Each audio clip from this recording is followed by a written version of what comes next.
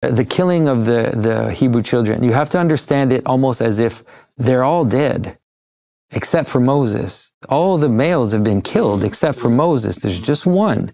It's a reduction. There's like this reduction. So think about Noah as well. Like everybody's dead. There's just one. There's this reduction which, which manifests the seed.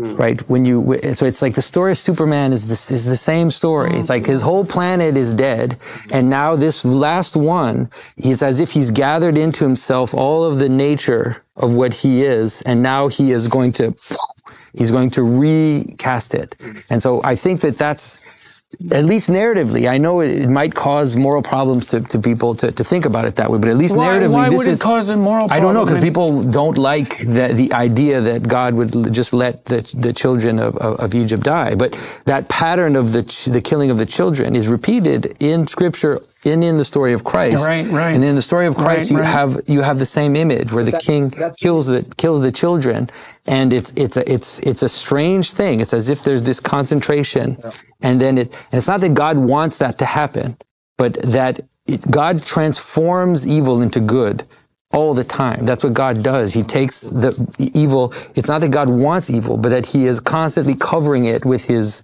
with His grace and His glory. And so it's like this is the worst thing that could happen. Like kill all the children, and then all of a sudden God's like, no, there's one. We're going to replant the seed. And it's go- and so you can't you can't get rid of it. It's like it's its meaning will return, the law will return, the covenant will return. You can't you can't get rid of it. Humans have no power to destroy creation.